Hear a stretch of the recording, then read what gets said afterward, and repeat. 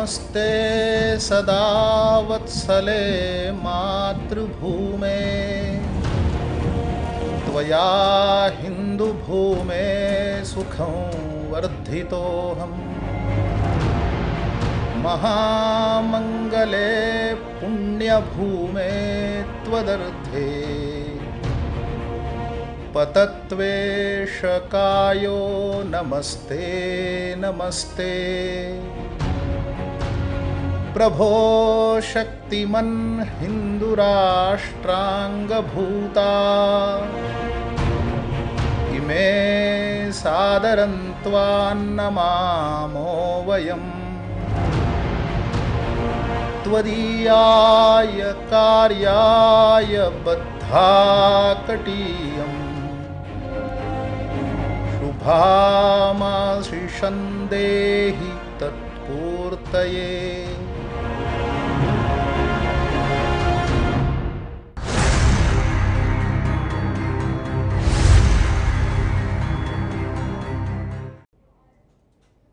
इस मुद्दे की सियासत को समझिए।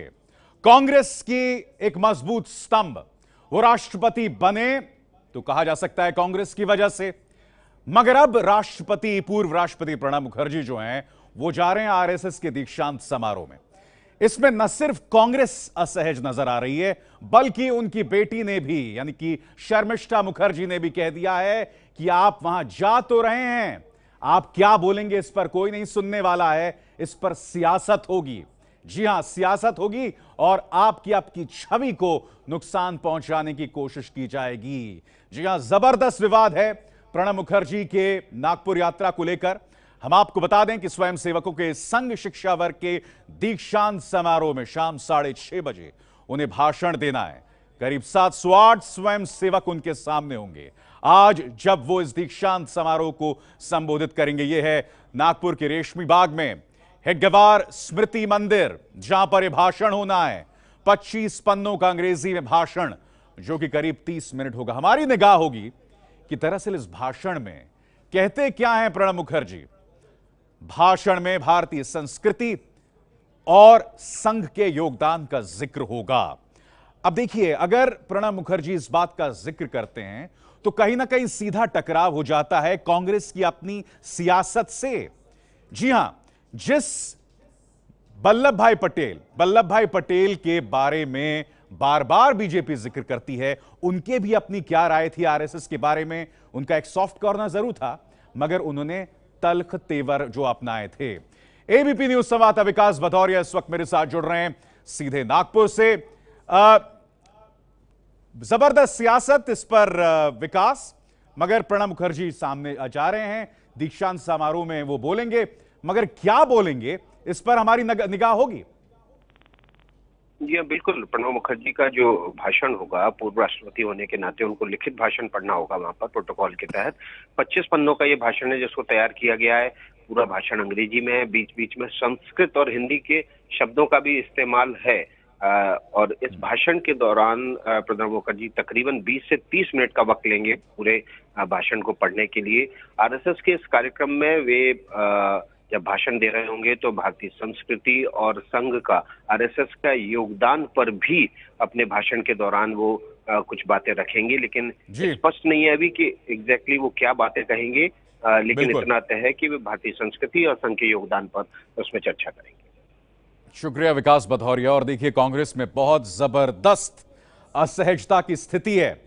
कांग्रेस की इस बात पर निगाह होगी कि कहीं प्रणब मुखर्जी अपने इस भाषण के ज़रिए आरएसएस का महिमा मंडन तो नहीं करेंगे, क्योंकि जैसे कि आप जानते हैं, कांग्रेस की पारंपरिक सियासत आरएसएस के खिलाफ रही है। अब आरएसएस की अगर हम बात करें तो उसकी उसकी खासियत, उसके क्या खास चीज़ें हैं, वो हम आपको दिखाना चाहेंगे। जी हाँ, इसकी स्थापना जैसे कि आप जानते हैं कि 1925 में हुई थी, देश की आज़ादी से पहले।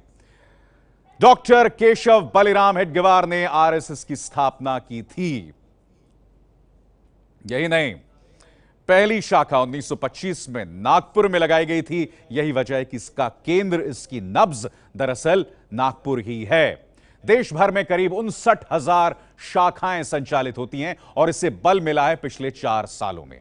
मोदी सरकार के बनने के बाद 30 प्रतिशत, जैसे कि हमने कहा ना, बल मिला है 32 प्रतिशत बढ़ गई हैं आरएसएस की शाखाएँ और यही वजह है कि कांग्रेस जो है इसकी आलोचना करती आई है।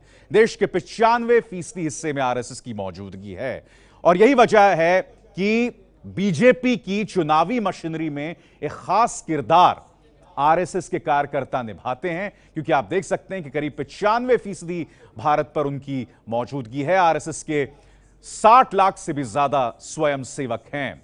आप सोच सकते हैं कि जब 60 लाख कमिटेड स्वयंसेवक हैं तो वो सियासी तौर पर बीजेपी की कितनी मदद कर रहे हैं।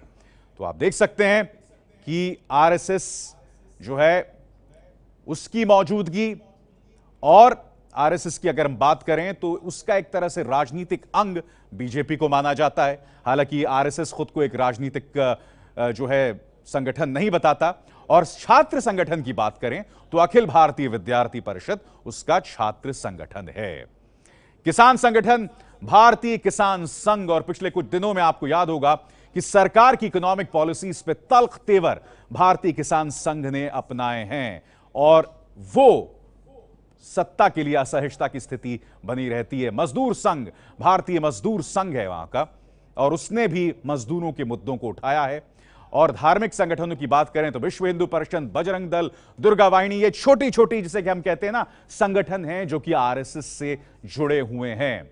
इसका एक मुस्लिम संगठन भी है, राष्ट्रीय मुस्लिम मंच, और इसके कई सदस्य हैं, आपको हैरत होगी, बड़ी तादाद में राष्ट्रीय मुस्लिम मंच जो हैं वो इसके, और साथ ही समाज कल्याण की बात करें तो सेवा भारती, आरएसएस से जुड़ा हुआ है।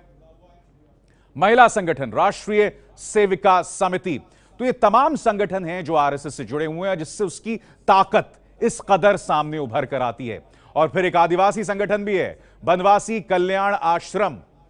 तो आप देख सकते हैं आरएसएस की मौजूदगी किस कदर पूरे देश में है, पिचानवे फ़ीसदी। हिस्से में स्वदेशी जागरण मंच। आप जानते हैं कि अक्सर सरकार की कैपिटलिस्ट सोच से एक टकराव की स्थिति पैदा हो जाती है। पूंजीवादी सोच से टकराव की स्थिति अक्सर पैदा हो जाती है। और प्राथमिक शिक्षा की बात करें तो सरस्वती शिशु मंदिर, जो कि खासा लोकप्रिय है और कई लोग अपनी शिक्षा जो है वहाँ से हासिल करते हैं। और एबीपी न्यूज़ संवाददाता सरिता कौशिक करीब, काफ़ी करीब से उन्होंने आरएसएस पर निगाह रखी है। उनकी रिपोर्ट में देखिए कि कौन है वो स्वयं सेवक जिन्हें आज पूर्व राष्ट्रपति प्रणब मुखर्जी संबोधित करने वाले हैं? ये कौन है स्वयं सेवक जिन्हें संबोधित करने के लिए प्रणब मुखर्जी नागपुर आए हैं? इतना विवाद झेलकर क्या करते हैं ये स्वयं सेवक संघ के, जिनके लिए प्रणबदा आज यहाँ पर भाषण करेंगे? बहुत ही इंटरेस्टिंग है ये जो स्वयं सेवक है ये 709 स्वयंसेवक है जो संघ का ये सबसे बड़ा ट्रेनिंग प्रोग्राम जिसे तृतीय शिक्षा वर्ग कहते हैं, वो कर रहे हैं। और इसमें 205 सबसे ज़्यादा स्वयंसेवक जो है, वो 26 से 30 वर्ष के आयु के गट में है और 178 स्वयंसेवक ऐसे हैं जो 21 से 25 वर्ष की आयु में है।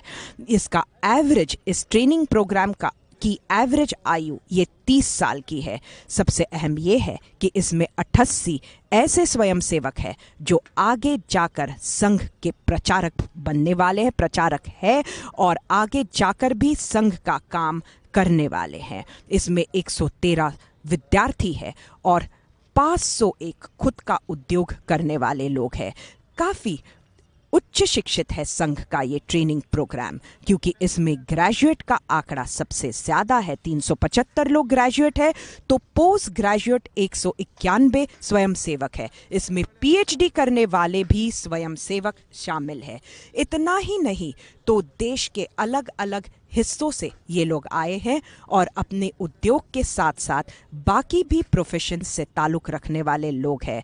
इंटरेस्टिंग बात यह है कि इसमें 117 लोग ये शिक्षक है जो संघ का ये ट्रेनिंग कैंप कर रहे हैं। हम जान सकते हैं कि आगे जाकर ज़रूर शिक्षकों के माध्यम से भी संघ की विचारधारा का प्रचार ज़रूर होगा।